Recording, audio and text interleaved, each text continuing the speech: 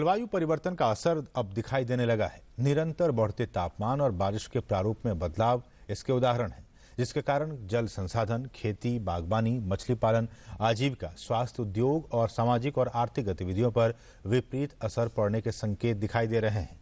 प्रदूषण से बढ़ते पर्यावरण के खतरे की चिंताओं के मद्देनजर राजधानी दिल्ली में India I international human right observer द्वारा एक सम्मेलन का आयोजन किया गया। सम्मेलन में मौजूद पर्यावरण विशेषज्ञों ने प्रदूषण से प्रकृति के बिगड़ते संतुलन पर चिंता ज़ाहिर करते हुए धरती माँ को ग्रीन और क्लीन बनाने पर ज़ोर दिया।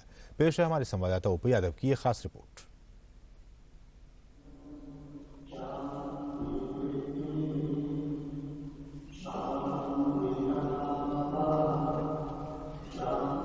ये नज़ारा है वैश्विक जलवायु परिवर्तन की चुनौतियों के प्रति देश और दुनिया में जागरूकता फैलाने के लिए राजधानी दिल्ली में आयोजित पृथ्वी के जलाभिषेक समागम का।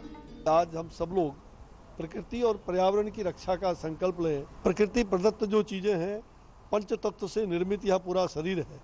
क्षिति जल पावक गगन समीरा पंच तत्व निर्मित यह अदम शरीरा। पाँच तत्व यानी कि आकाश, पृथ्वी, अग्नि, ये वायु और जल। इनको संतुलित रहने दो तो सब कुछ संतुलित रहेगा। हाल में ही विश्व बैंक द्वारा कराए गए एक महत्वपूर्ण अध्ययन के अनुसार जलवायु परिवर्तन के गंभीर खतरों से भारत भी अछूता नहीं रहेगा। इस चिंता को जताते हुए अंतर्राष्ट्रीय पर्यावरण विशेषज्ञ साध्वी भागवती सरस्वती ने पर्यावरण प्रदूषण को रोकने के लिए अंतर्राष्ट्रीय स्तर पर जागरूकता पर बल दिया।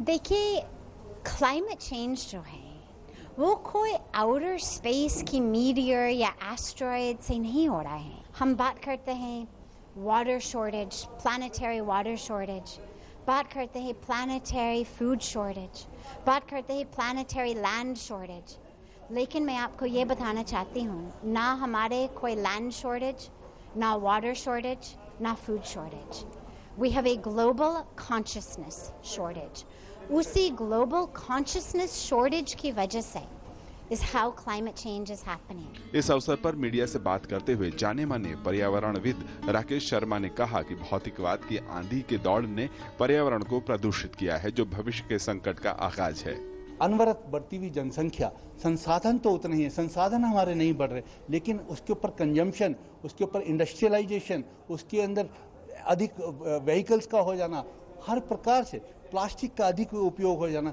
सब कुछ हमारे पर्यावरण को प्रदूषित कर रहा है।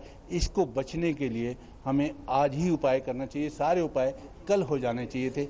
आज बहुत देर है। कल तो डिजास्टर्स होना ही होना। पर्यावरण प्रदूषण की समस्या से कई धर्म गुरु भी चिंतित हैं और अपने स्तर पर रुद्राक्ष के लाखों पेड़ लगाकर धरती को हरा भरा करने का काम भी कर रहे हैं। 2004 से मैं पूरे भारत में रुद्राक्ष के पौधे के रोपण का कार्य प्रभु करा रहा है।